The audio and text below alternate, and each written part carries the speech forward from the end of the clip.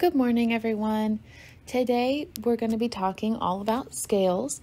And so I have my group members Emily Hamelwright and Ranger Starts, and we're just going to give you a little bit of a review about the different types of scales and their functions.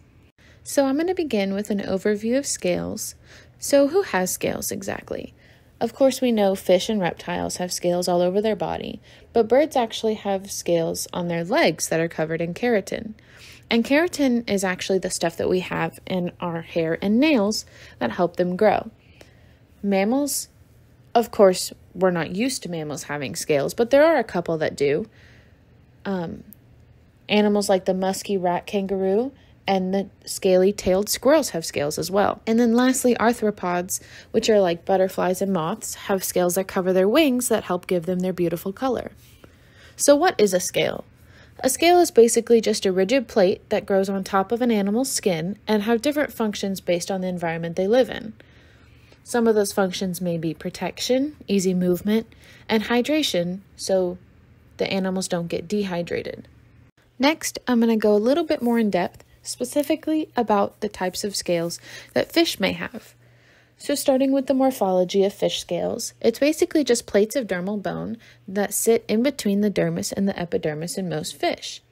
And the epidermis and dermis is basically just the first two layers of what would be the fish skin if they had any.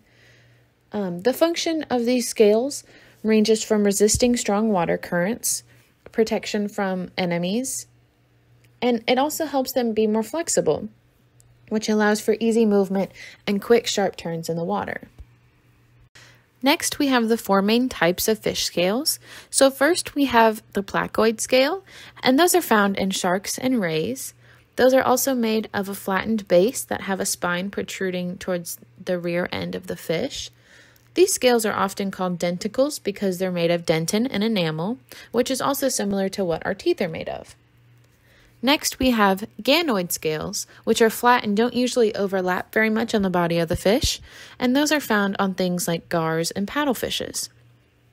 And then our last two types of scales are the cycloid and ctenoid scales that are found usually in the majority of bony fishes. These types of scales usually overlap like shingles on a roof, which allows the fish to be more flexible and have better movements. These scales also happen to grow rings like trees do, determining age of the fish. So next, we're going to go over a few examples of fish scales. So on the left-hand side, we have the cycloid scales of the common carp. So there you can see how they lay fairly flat and overlap, like I said, how shingles do on a roof. And then in the middle, we have the scales of a great white shark, which I included because not very many people know that great white sharks actually do have scales. And then lastly, we have the ctenoid scales of the convict cichlid, which I just thought looked very interesting. And you can see the rings that dignify the age of the fish also, which I thought was really cool. And then I'm going to go ahead and pass it to Emily so she can talk to you about reptiles. So, beginning with snakes. In the wild, their scales have several uses, first of which is similar to a fish, which is a coat of armor around the snake which adds that layer of protection. A fish is able to lose one scale, but a snake cannot. This is because a snake's scale is a continuous folded skin. Therefore, if a snake damaged a scale, it is the same as a human getting cut or having damage to their skin. So, snake scales are used for camouflage and protection. With camouflage, this wide depends on the environment of the snake, but a snake scale comes in a wide array of different colors from dull brown all the way up to bright green. For protection, snake scales are hardened and therefore, when in conflict, it is a great asset for any snake which makes snake hard to penetrate. Now, looking at the two pictures, on the left, there's a snake that is very camouflaged in with its ground. It is hard to see the snake, which helps when looking out for predators as well as trying to get their prey. They have complete coverage with their area and their surroundings, and that ensures that they are protected. And on the right, it shows a close-up picture of snake scales. This just shows the thick coat of armor and protection that the scales give. Moving on to lizards. Lizard scales are multifunctional with camouflage, defense, and movement. Scales are able to protect them from everyday wear and tear. Scales are mostly made of keratin, and this substance is both tough and waterproof, which ensures that lizards do not dry out. Their multifunctional use is first, their camouflage. They provide camouflage with their different colors in their environment and able to be blended in and safe. Second, defense. Lizards keep in moisture as well as act as a defense against predators by using their scales. The third is movement, which scales are used in order to have the animals move. Now, this shows four different pictures of lizard scales. On the first left corner, it shows how lizards are blending in using their scales as camouflage. It is very hard to be able to see the lizard that is on the tree. And now on the right side of the top, you can see the beautiful colors that the scales can have, which is very different from the camouflage color to the left. And on the bottom, too, it shows two different breeds of lizards. One is a bearded dragon on the left, and it shows the different types of scales as well as scales that are used for protection as the pointed scales in the bearded dragon can be used as protection from predators. Now on to scale evolution. Evolution is how different species have came to be the type of species they are with different distinguishing features. So, millions of years ago, snakes evolved from lizards. After the evolution of jaw, giant reptiles called Archosaurus put them to good use, and while dominating the planet 250 million years ago, these ruling reptiles were the common ancestors of dinosaurs, as well as two living groups, the birds and crocodiles. Birds are the only modern dinosaurs with feathers, while crocodiles and their kin have scales, which implies the evolutionary connection. Now this shows an evolutionary tree that have the crocodiles and the birds um, evolving away from each other from a common ancestor.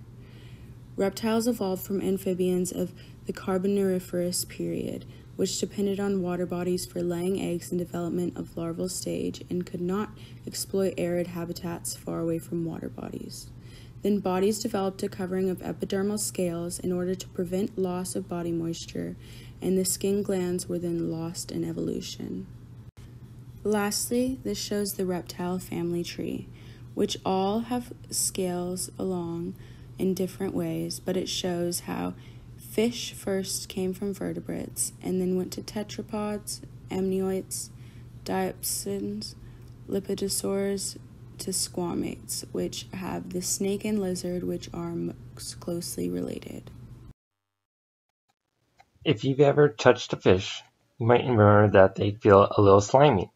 That sliminess is what protects fish from bacteria and viruses, while for snakes, on the other hand, regularly shed their skin to remove parasites that have attached to them. Uh, as you can see in the video, uh, the fish, as I moved uh, uh in the sunlight, it shines. This is a type of camouflage the scales provide for uh, fish. This shininess protects fish from some aerial attack predators or some aerial predators by blending in with the shininess of the water, while snakes, on the other hand, range in all kinds of coloring to suit their environment. As you can see in the picture, this uh, snake is accustomed to hiding in darker brown areas like dead leaves or trees. And uh, some snakes uh, have very bright colors. Um, instinctively not to blend in, but to be very noticeable. Uh, this is so they can, uh, so this is a purpose for so that they notify predators that they are poisonous, so they'll prevent them from getting eaten. There are different types of scales for both snakes and fish. Snakes, as you can see on the left, have both smooth and keeled scales. The picture of the snake on the bottom has smooth, uh, smooth scales because it's shinier, while keeled snail or snake scales have duller coloring. Now the picture of the fish scales on the bottom is called ctenoid. Uh, each different scales has different features uh, that allow it to be better suited for the environment like Ashley has already have talked about.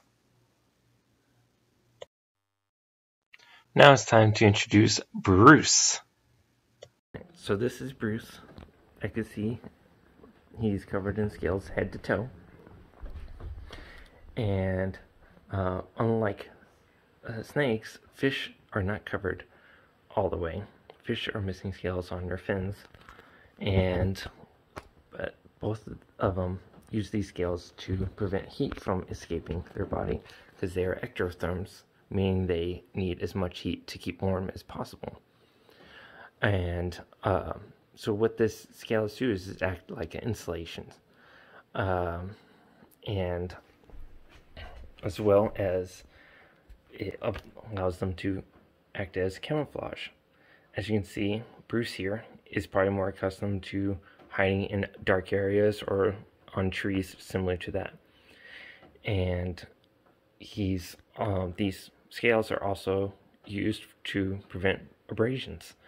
Uh, so if he's climbing up those trees, he's good at hiding. He'll be able to prevent uh, sticks and twigs poking them and also from getting cut through the bark or something like that.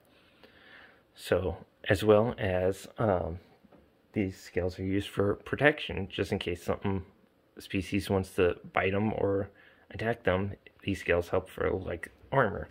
Same with fish. Like another fish tries to bite them, it'll act like armor and prevent uh, significant damage if possible.